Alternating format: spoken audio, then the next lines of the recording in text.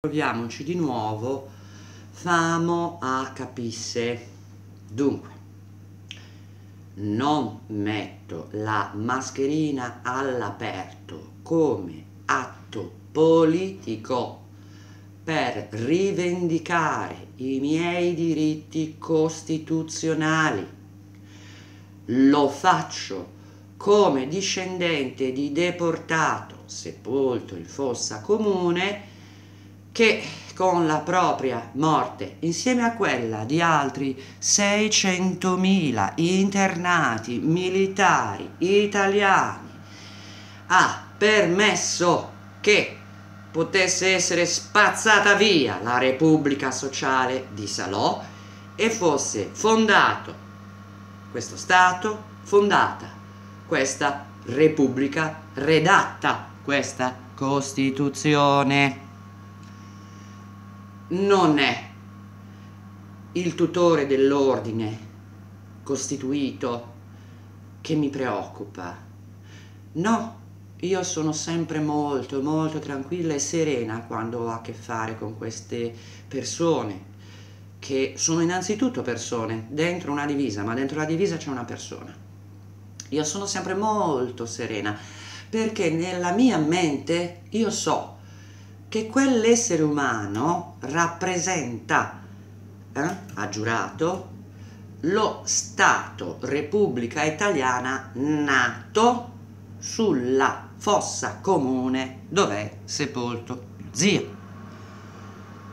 Quindi non ho paura assolutamente della sanzione, in qualunque caso anche mi fossi fatta d'ufficio, a distanza, mm, in seguito a delazione.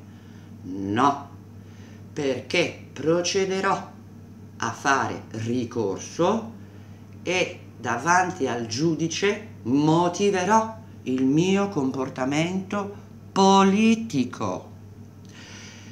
Non faccio cose mm, che, che vadano contro il mio buonsenso, che vadano contro la mia natura umana e men che meno contro il dolore di una famiglia durato oltre 66 anni che non è finito con la guerra, perché quando sei parente di disperso deportato finisci di soffrire soltanto se sai che fine ha fatto.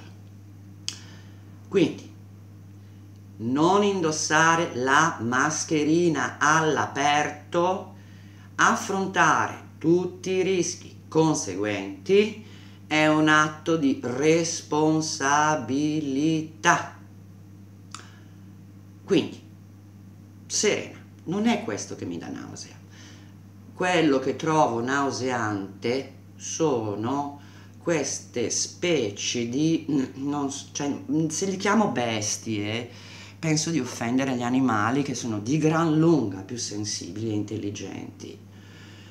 Vi racconto un episodio. Quest'estate una mia vicina di casa si è messa a urlare, urlare per le scale mettetevi tutti la mascherina perché se no ci impestiamo. Lei si stava riferendo a me ma questa signora non me lo dice mai, mai, mai, mai mi affronta a quattro occhi di persona quando mi incrocia per le scale, per strada, non osa mai venire a dirmi questa cosa guardandomi negli occhi, perché la mia risposta è ti denuncio i carabinieri, ti faccio finire in galera, rispetta la Costituzione, rispettami.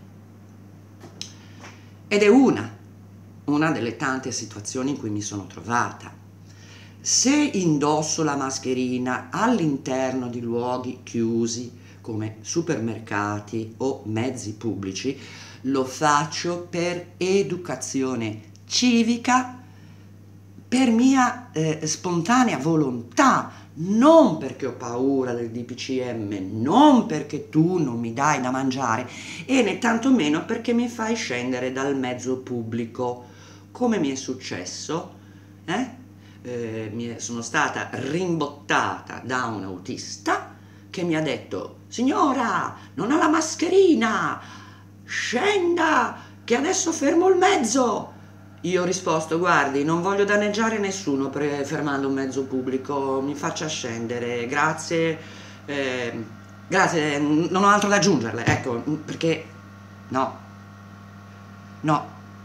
Ora io ho capito una cosa eh, dopo tutti questi mesi in cui ho cercato di interagire con gli altri per farli ragionare, che no, mm, questo popolo italiano aveva già dei disturbi psichici precedentemente a questo Covid, eh, con questa dittatura sanitaria, con questi criminali ignoranti, saccenti e traccottanti al potere, eh, i disturbi comportamentali, eh, la disfunzionalità dei miei concittadini, connazionali, si manifesta in tutta la sua gravità.